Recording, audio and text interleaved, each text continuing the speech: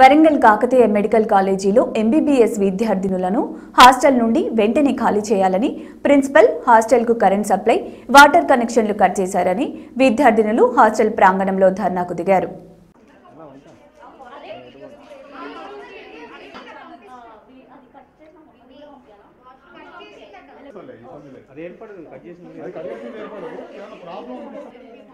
స్లోగా స్లోగా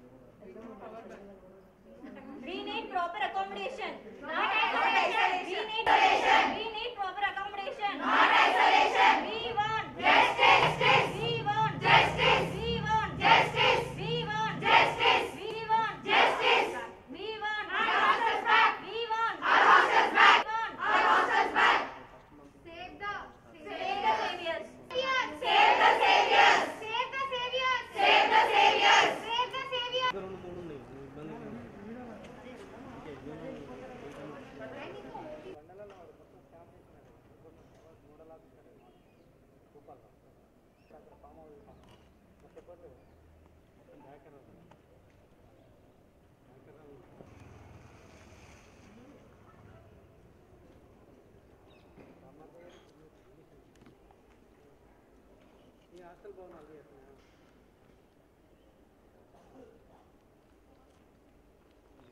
आई आई मोड़